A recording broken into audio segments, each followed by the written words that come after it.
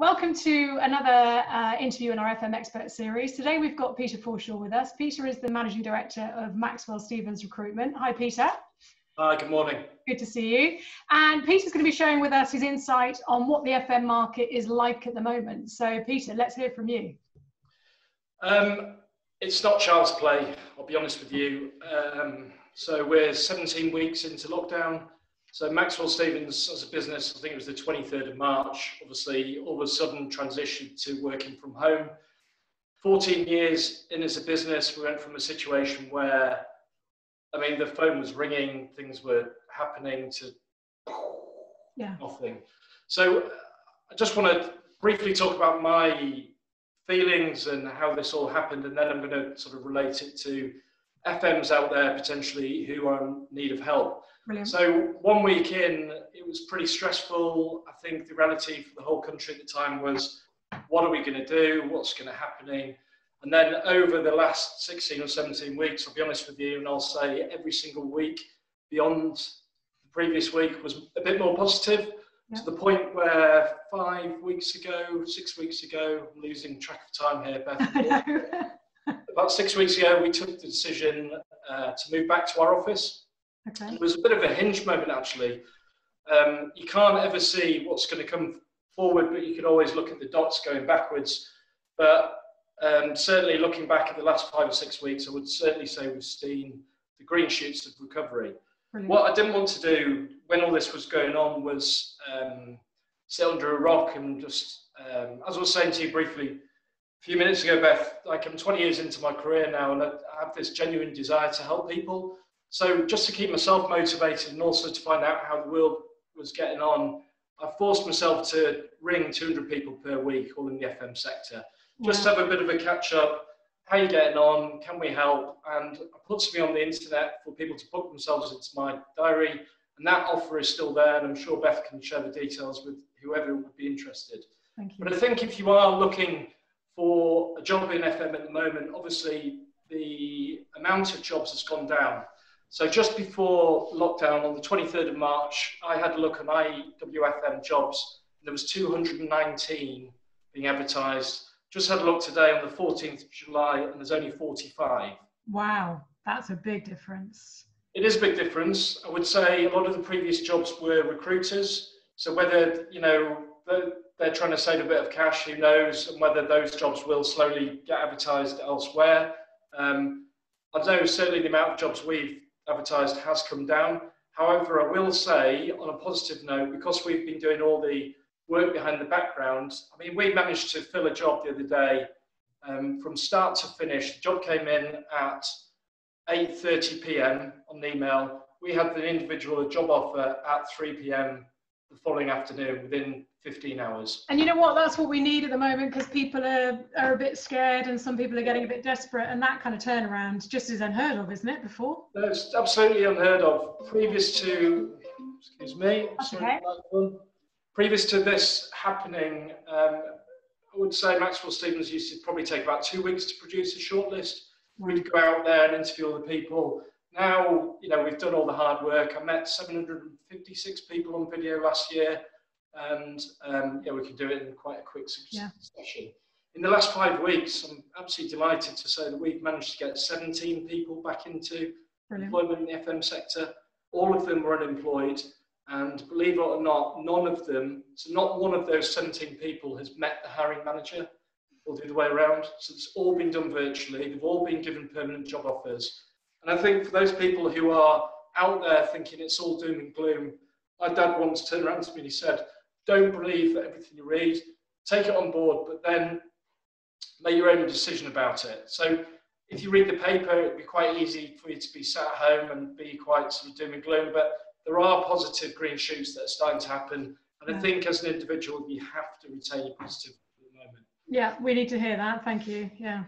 The world is obviously competitive. So I think um, number one thing I would do is build your network or build relationships. Okay. As I've illustrated, it's the perfect time to get hold of people. It's the, those individuals and those relationships that will keep each other going on. Everyone is in a situation where they want to help each other at the moment. Yeah. And I think if you do give something back, you'll often get something in return. Yeah. At least if you ever catch up with someone that know your situation, the next time they're having a conversation with someone, you never know it could result in what you're looking for. Okay, thank you. I think it's a perfect time to work on your CV. I think because there are less opportunities, when you are applying for a role, it's really important not to apply for everything. I think it's very important to sort of hone maybe what that client is looking for. Just, just stop for a second and give it some thought and work out why the client are recruiting at the moment and what skill set potentially that they're looking for. And then maybe on your cover letter or your cover email, you could answer those sort of things that that company are looking for. Yeah. Just try to think of things that will give you that sort of step ahead when you're making that application. Okay.